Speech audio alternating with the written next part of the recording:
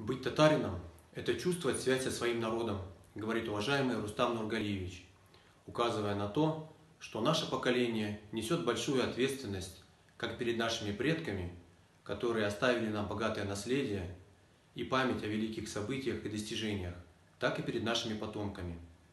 Хочется поблагодарить Рустама Нургалиевича и исполком Всемирного конгресса татар за колоссальную работу по сохранению родного языка, культуры, духовных и нравственных ориентиров, а также за единение и поддержку татарского народа. Желаю вам крепкого здоровья и благополучия. Пусть Всевышний благословит вас.